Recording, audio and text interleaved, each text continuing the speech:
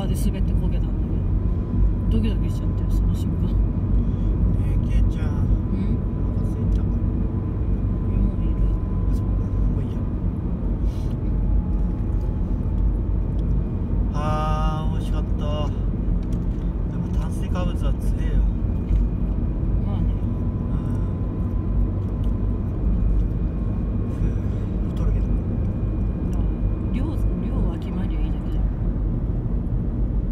olhar pra mãe.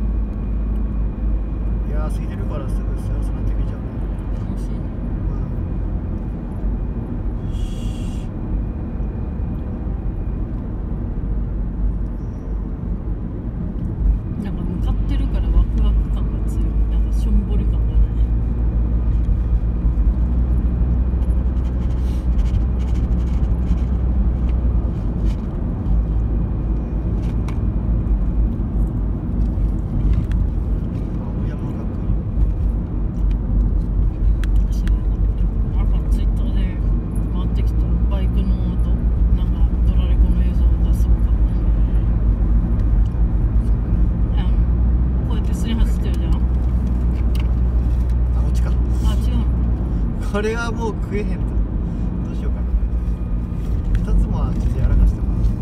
今これ食ってっから待てよなんかこう左から鹿の親子が山からバーンって道路に出てきて。で親の親鹿はやっぱほら慣れてるからスピーディーに去ってって小鹿がなんか多分そのバイクにびっくりしたのかあバイクのやつねはいそうそう転倒してってやつ見たのある見た見たやばいねその後の後ろのバイクもとっさに避けてさわーって行ってさ今反対車線の車ももう時読んでさ読んでたからすげえ避けてたじゃん最初から。すげえな。ななんも誰も事故なくてよかったけど。で最後あのなんか追い抜いてったあのバイクの人も止まって大丈夫みたいな挨拶してたしマナーあっていいねまあまあ、本来ああいう風にならないようなスピードで走んなきゃいけない道なんでしょうけど動物出てくるってことは分かんないけど多分看板とかあるでしょなんか動物注意みたいなとこって結構スピード出しちゃダメっていうよね私知らなかったんだけどなんか事故を引き起こさないためにそれ例えば動物が飛び出してきた場合小動物とかはもう引き殺すしかないって本当？なんかそれそれで急ブレーキとかさして避けた場合後ろがほら玉突きしたりとかさ。まあそのために車設計されてるっていうのはあるけどね正直言うなあもうと弾き飛ばすように。硬いんだから。こっちが危険になるような動物の場合はやむを得ないけどうん。やっぱ言いか嫌だけどあのひ引けるやつは引かないといけないみたいなの聞いたことある。聞いたっていうか書いてあったけどそうなんだと思って。そうだよだから車ってそういう行動になったんだよ、まあ、確かに。うん、弾き飛ばす。変な話。もう全然猫とか吹っ飛ばすもん。そういう試験あるもん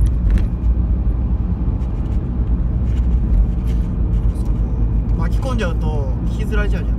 ガーッと。それだから硬いんだだからそのなんて言うんだろう、まあ、レインフォースって言うんだけだけど。ど外側にあって硬いやつ。鉄板みたいな。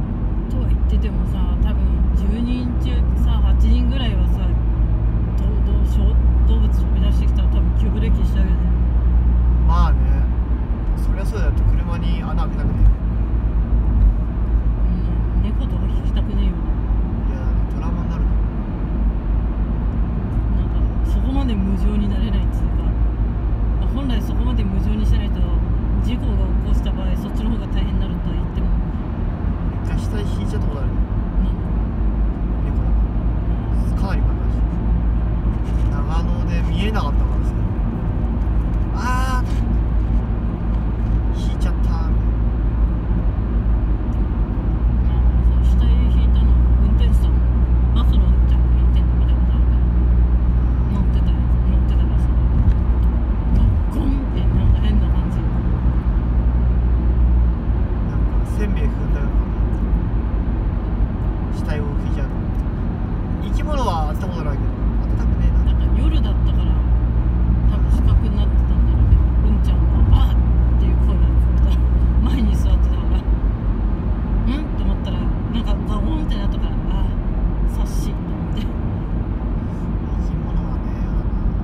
ける状態で弾きたくないやだね。